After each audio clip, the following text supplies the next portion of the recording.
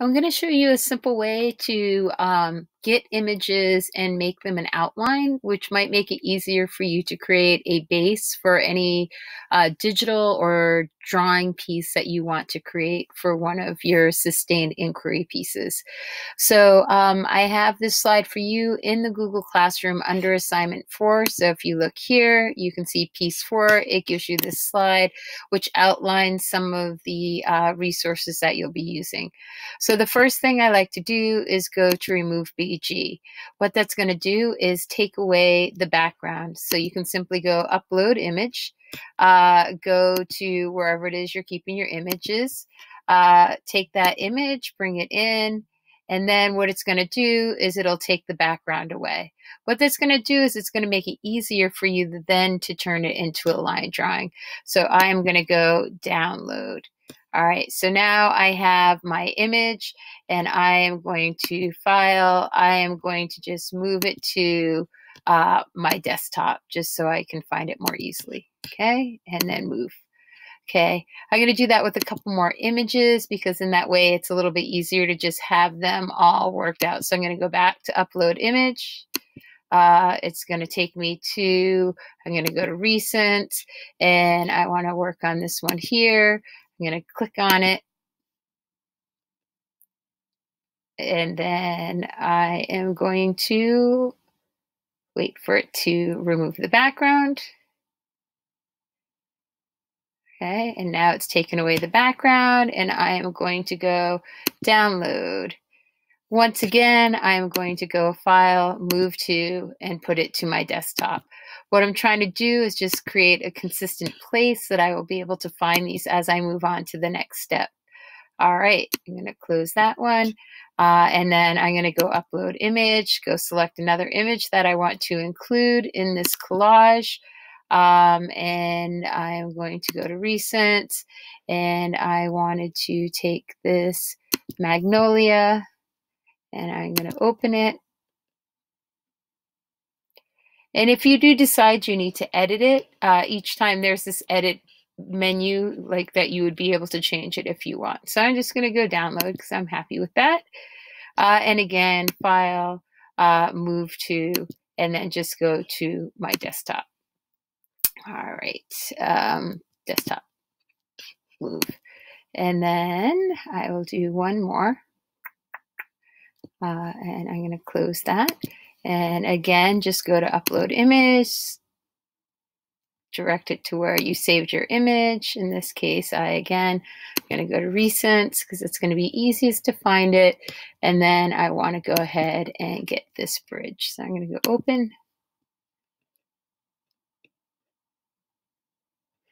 And now I have my bridge. And again, I'm going to go download. I'm going to go file, move to desktop. And now I will be able to have them all there. Okay, move. Okay, so your next step is once you have these images and you've removed their background, uh, you're then going to go into, on this slide here, um, you can see that it says Rapid Sizer. So you're going to go onto that link there. And what this one's going to do is allow you to take your drawing and make it into a line drawing. So you're going to go use an image from your device, tell it where to go. I mean, mine, I'm going to go get the bird first. And then what this is going to do is give you the option to go ahead and play with these adjustments to get it to a place where you feel that you're getting enough information uh, to be able to draw the details that you see. So, uh, and there's different ones that you could do. You can do this adaptive one. I like that. It sort of opens up the space a little bit more. Uh, and with this one, uh, it's going to work a little different. So you are going to have to right mouse button copy and go save image as. And then I am going to go uh, crow and I want to save it to um, my desktop. Well, actually, uh, I'll just go mission for now. Okay, save. And now I have an outline of the bird.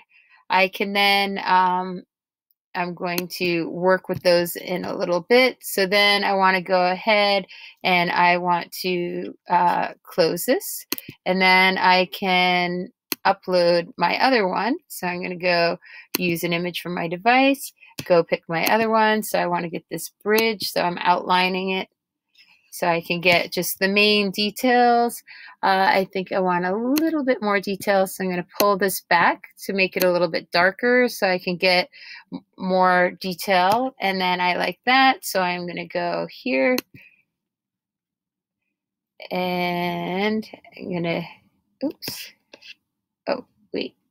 Uh, I'm going to go here and I am going to go, actually, let me go back. Sorry. I, oh no, uh, I'm going to go download. I went to the wrong button. And then I'm just going to go right mouse button, copy, copy image.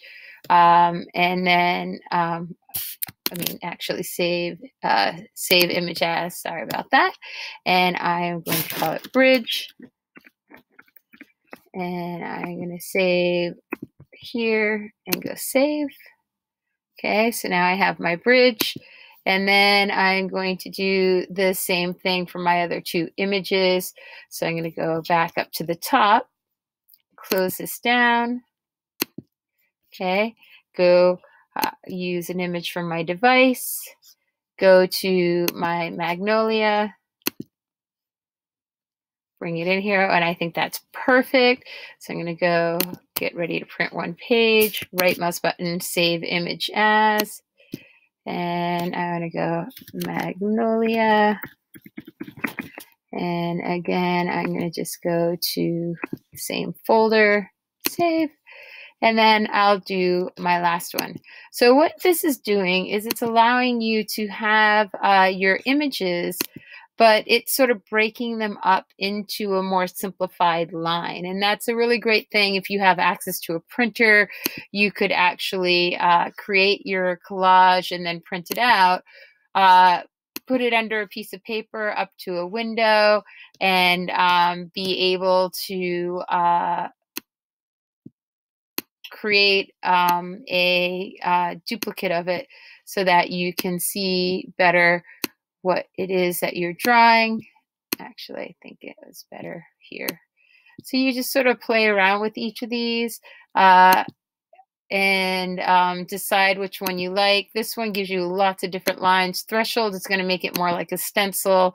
Uh, so if you're doing a cut stencil, you could play with that. But I'm going to just come in here. I'm going to take that. I think that gives me enough information. And I'm going to go here and once again, right mouse button copy, save, Im save image as. I'm going to call Mary. And then I am going to go save. Okay, so now I have all of my elements.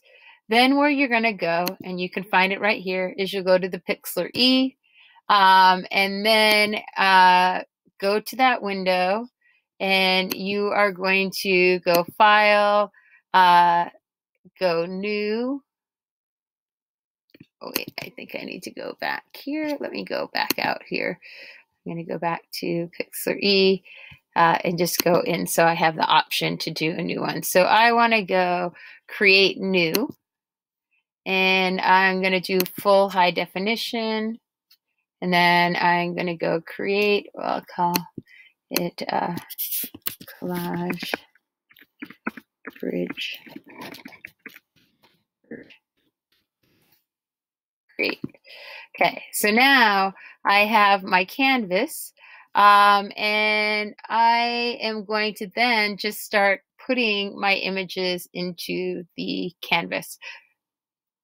So I'm going to go File and I'm going to go um, Edit uh, Image. Okay. Uh, oh, uh, open Image. I'm going to go to my recents. I'm going to first start by bringing in the bridge. And then what I'll do is go Control All, Control C, and then I'm going to go into my document and go Control V. Okay, now you see you have the cursor there, so you can just pull it out and decide what, what size you want your image to be.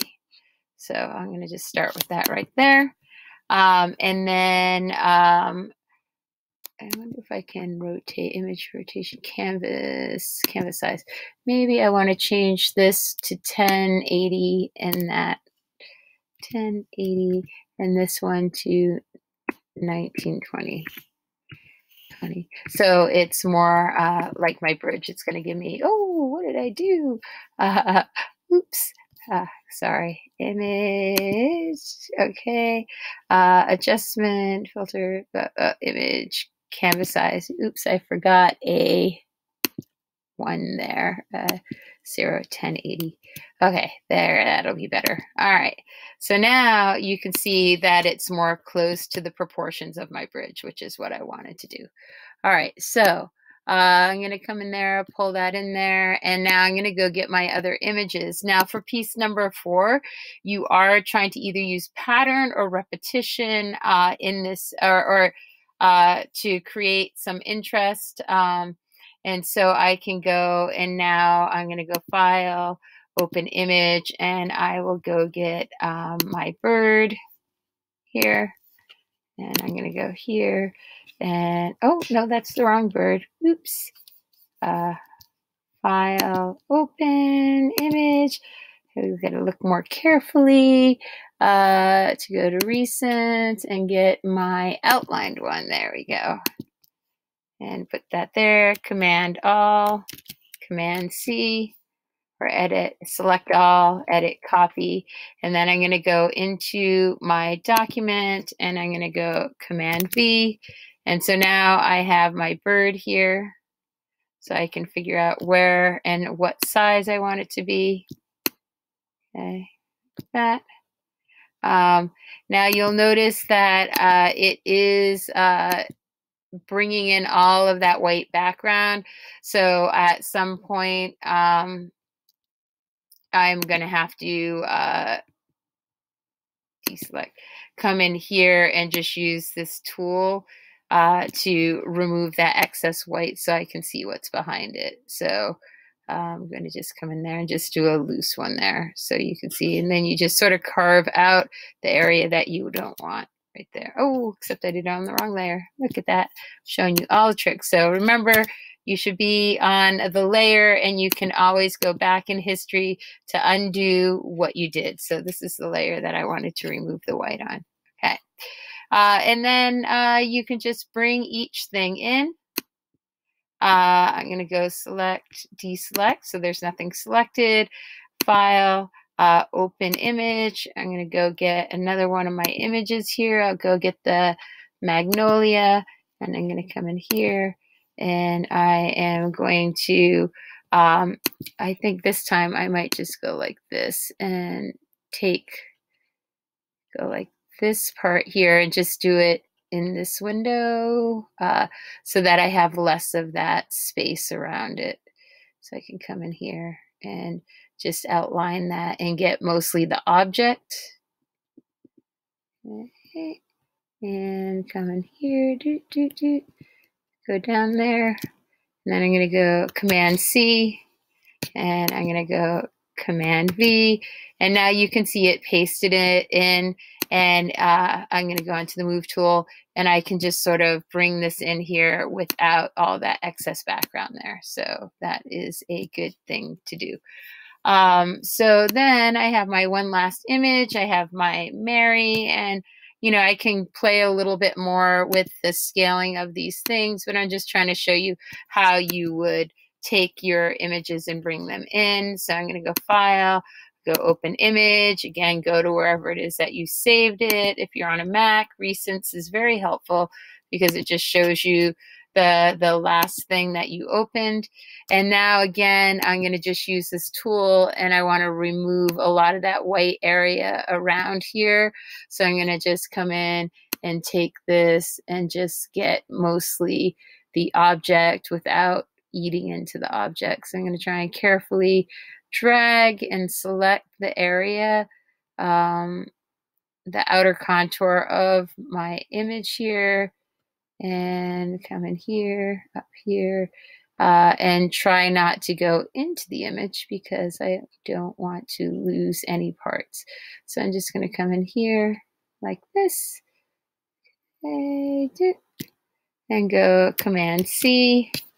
And then I'm going to just go back to my collage and I can go Command V. And now I have my Mary in there and I can uh, click on it to, uh, as long as I'm on the move tool, I can then click on it and I can change the size of it, right? So now if I wanted to use, uh, you know, a little bit more, uh, if I wanted to use repetition in this one, I could uh, easily, you know, duplicate. So I could go uh, Control C, Control V, and it's gonna, oh, give me the last one. So I want to be on this one here, Control C, Control V. Oh, no, I guess you can't do that. I guess you have to go like this and go uh, layer, uh, duplicate layer. Okay, so now then I'll have like a couple flowers here. So maybe I want to put one down like the birds coming up out of it. Okay, and I can also play with the scale of this, right? So I could make it bigger, or smaller. Maybe I want this one bigger. Uh, and then you can also arrange the layers. So if you want to go uh, uh, select a layer, uh, I know it's going to be uh, bring forward. Okay, and then what that's going to do is it's going to bring this in front. Okay, so um, that way you can just sort of play with them. And so maybe I'm going to make one here, and then I'll just take another one and go uh, layer, duplicate layer, uh, and then I can just pull that up, and then I have another one there. Okay, uh, so um, yeah, so that's basically um, letting you know uh, how you can um, play with uh, your different images and make them linear. So then when you print this out, that you could then actually uh, have more of a line type drawing that you could then trace and um, you could then print. Okay, so that is that. Um, so I hope that's helpful.